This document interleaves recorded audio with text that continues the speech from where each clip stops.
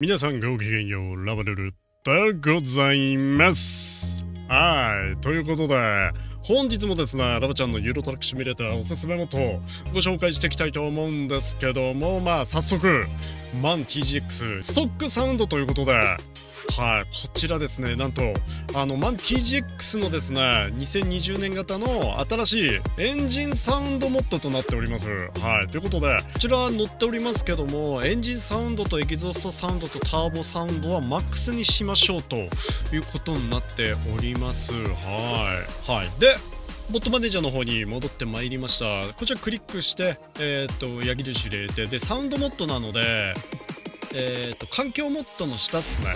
はい、で入れていただければなと思います。で車両の上ですね。はい。に入れていただければなと思います。で変更確認します。とそうしましたらですねオプションからオーディオに行きましてえー、エギゾーストこれ大丈夫なのかね？エンジン温度マックスって言ってたけど。うるさくないかな？えっとちなみになんですけども今ちょっともっと外してみました。これがノーマルっすね。ノーマルの音。まあでもノーマルの音も結構いいよね。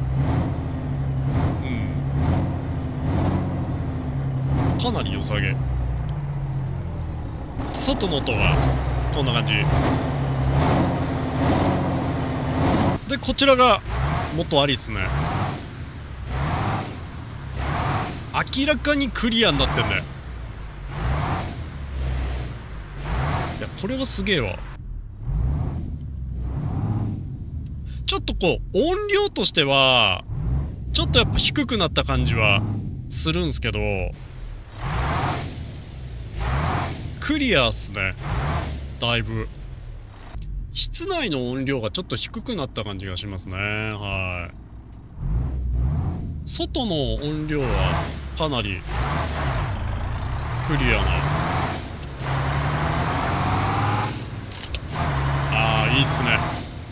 いいね。ほぼ実写。ほぼ実写サウンド。まあこれに関して言ったらやっぱ窓開けるのがいいんだろうな。ちょっと待ってください。あいいっすね。いいね。窓開けんのいいね。あこれいいわ。これいいっすね。だいぶいい。なるほどね。なるほどなるほどなるほどね。はい。で皆さんこれ一つ注意点がありましてちょっと今整備工場来てるんですけどもエンジンでですねストックサンドとはいええー、っと430馬力から、えー、500馬力510馬力ですね。ここの3つですね。434751こちらの方ね確認して導入していただければなと思います。まあ個人的にかなり好みのサウンドなんでちょっとやっぱアセコルに近いっすよね。実写っぽいサウンド。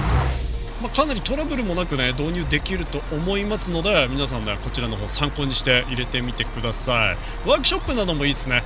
はい。ということで本日はですねこちら MANTGX のエンジンサウンドモッドをご紹介いたしました。参考になった方ぜひチャンネル登録高評価よろしくお願いいたします。ということでですねまたモッドの方も紹介していきたいと思いますんでそちらの方の動画でお会いいたしましょう。じゃあみんな愛してるぜ。